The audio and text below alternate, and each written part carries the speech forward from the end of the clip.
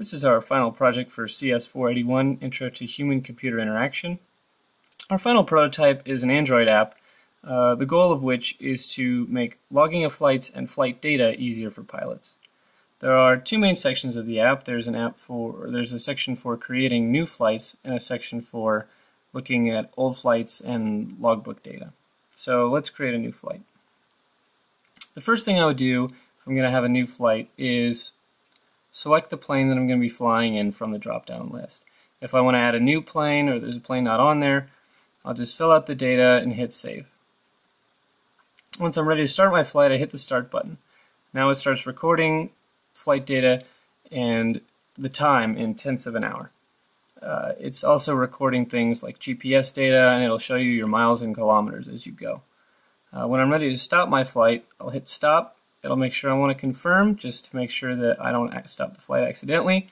And what it's going to do is it's going to generate a random flight time just for the sake of time. So it's, it's going to show me all the data that is collected for this flight. If there's anything I want to change, I can just go in here, add it to the flight. I can also add my comments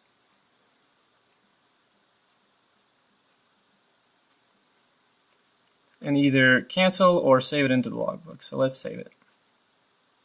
Once I've finished my flight, I can go to the logbook and here it'll show all my updated totals for uh, all the flights I've ever taken. So in the summary tab, we've got everything that you would need to see, your takeoffs, landings, how many hours you've flown in multi-engine planes, in single-engine planes, cross-country miles, cross-country hours, um, night hours, everything that a pilot would need.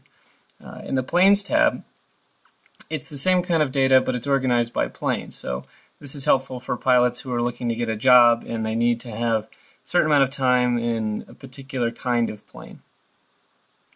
Then we have the traditional logbook section, which is um, going to be organized by month. And then you're going to have the time that you flew and the total uh, in this column right here. If I want to look at the actual details of that logbook entry, I would hit info. So the flight we just took, you'll see our comment here. Uh, we changed that to the night to 1, uh, and, and you'll see all the updated things for that flight entry. Our app also has the ability to manually enter a new entry, and you would just fill in all the columns that you want, all the categories that you want, and check the ones that you want to include in your your final logbook entry, and then you would hit save. So that's the app. Uh, thank you.